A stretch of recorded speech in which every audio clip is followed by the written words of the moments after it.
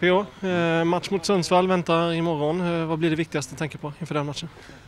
Usch, ja, det är många bitar. Eh, det finns eh, viktiga saker i det offensiva spelet och det finns viktiga saker i det defensiva spelet. Och det finns viktiga mentala faktorer också som vi måste hålla koll på. Så att, eh, ja, det är mycket som är viktigt imorgon om vi ska kunna göra en bra match. Men vi möter en motståndare som liksom vi har ett uttalat önskemål detta året om att försöka krångla sig igenom Superettan och kunna bjuda sin publik på allsvensk fotboll 2014. Så att det kommer säkert att bli en väldigt tuff match.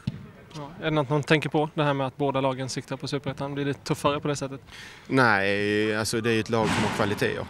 Eh, och även om de hade vågat eller inte vågat prata om det innan säsongen så, så är det fortfarande ett lag fullt med kvaliteter. Så att, eh, det kommer att bli en tuff match. Ni har kört ett eh, pass här på förmiddagen. Vad har varit fokus idag?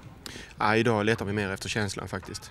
En del taktiska bitar som har med fasta situationer att göra eh, brukar vi spara till dagen innan match för att vi ska ha det så fräscht som möjligt. Eh, men i övrigt så eh, jobbet som handlar om matchen det, det brukar vi göra två dagar innan så att den stora taktiska delen den gjorde vi igår och idag handlar det mer om att lite glädje, fånga en känsla och hitta en, en bra feeling som vi ska packa in i bussresan upp till Sundsvall. Både du och Axel deltog lite grann i träningarna. Hur var, hur var känslan? Ja, vi tränade alldeles för hårt idag. Axel Källan var helt knäckt också så att han tyckte den fysiska belastningen var alldeles för tuff på dagens pass. Hur, är, hur är läget i truppen med tanke på att ni var med och spelade? Ja, det är kaos måste det vara. Ja. Nej, men vi är, nu är vi på ett slimmat antal, det har vi pratat om en tid. Och vi är, eh, när det då, Tobbe fick en liten känning i fot och var tvungen att gå av så eh, hade vi gjort en, en eh, planering på 18 eh, utespelare och då var vi tvungna att göra en liten insats här. Men nej, stämningen i truppen är bra och vi har bra kvalitet i det laget som finns. Och starten med Tobias?